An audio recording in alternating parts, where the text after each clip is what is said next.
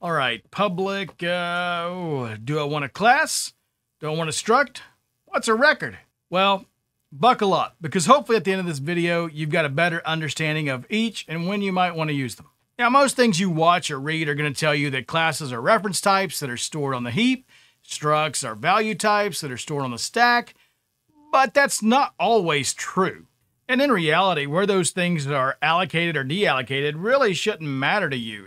Now, you could say that value types on the stack are faster than reference types on the heap, but for the majority of apps, where your variables are allocated and deallocated from is probably not one of the places that are causing you performance bottlenecks. More than knowing like where it's allocated and deallocated from, what you really want to know is that a class is a reference type while a struct is a value type. Now, what's a reference type and a value type? Well, it's pretty obvious by their names. One gets passed by reference and one gets passed by value.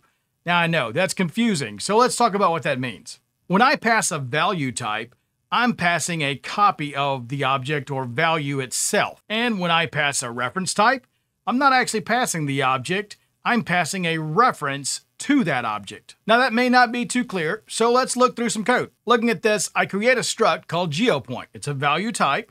So it's going to get passed by value. And I create a location one with its latitude and longitude. Then I declare location two to be equal to location one.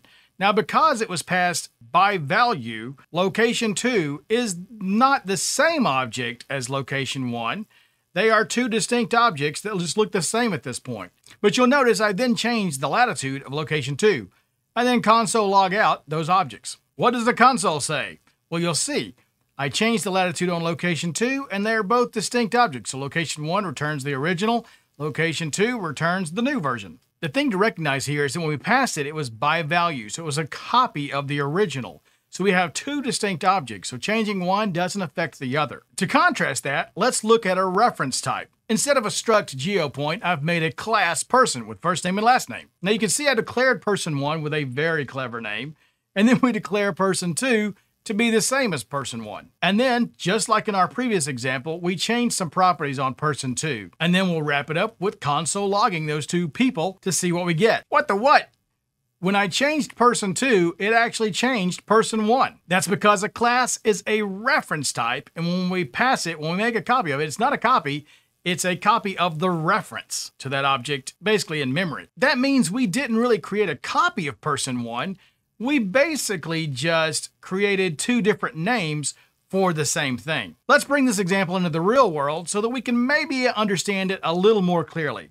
We'll start with a struct, a value type that's passed by value. Let's say we have a bald bearded builder struct that we name BBB. But now we want another bald bearded builder to be the same, but we want to call it Mike. Well, and there we go. Now we've got two bald bearded builders that have their own bald head, bearded face, and can be building separate things.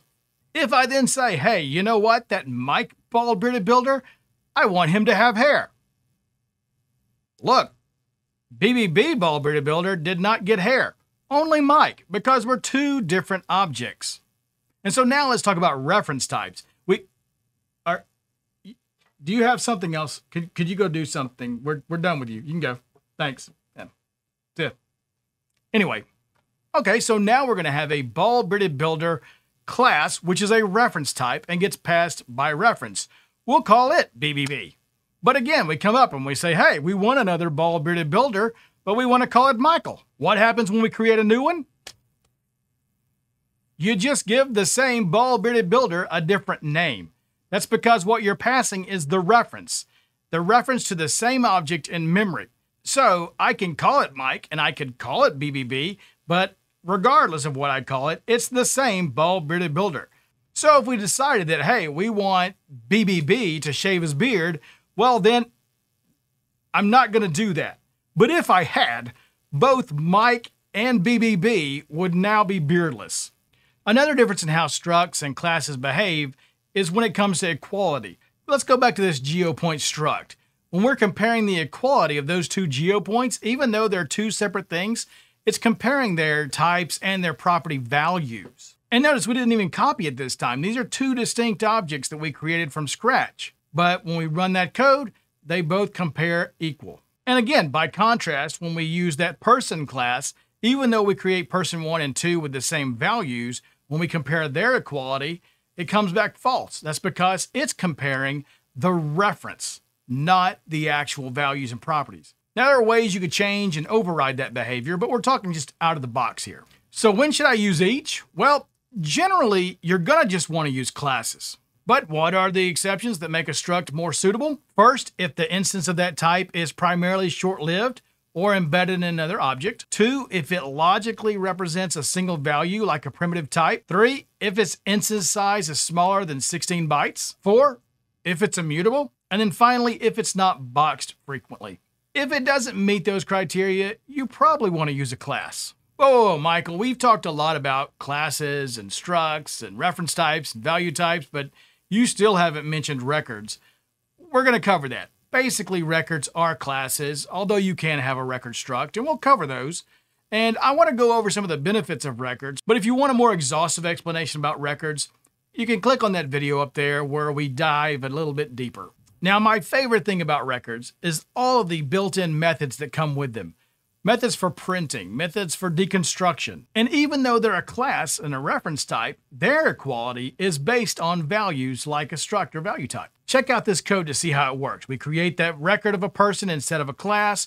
We construct those two things, and now when we compare them, our equality equals true, which is really nice. You kind of get the best of both worlds there. Another nice thing is while you can write these with that longer syntax of a class, this shorter syntax makes this object immutable by default. No need to use get and init accessor methods to make it that way. And that gets us into why you should use them.